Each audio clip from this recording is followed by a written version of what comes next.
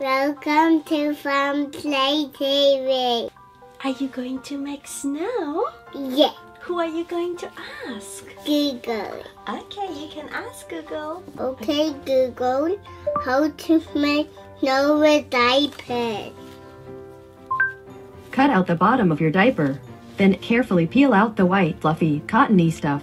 Place it inside of a deep container. To make snow, we need some diapers, scissors, water, and a bowl. The first thing that we need to do is we have these diapers here and we are going to cut this area here of the diapers and we're going to tip the contents in the big bowl.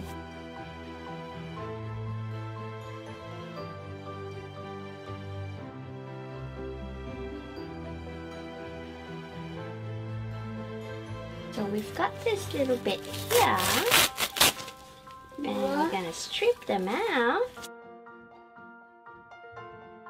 Slowly add some water.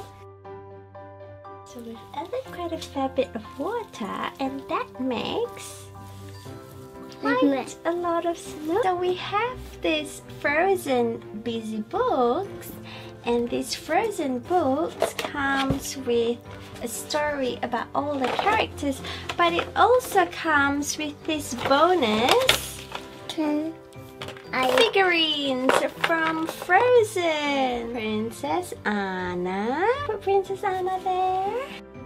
Elsa. Kristoff. Hans. But if we add some blue glitter on our snow creation?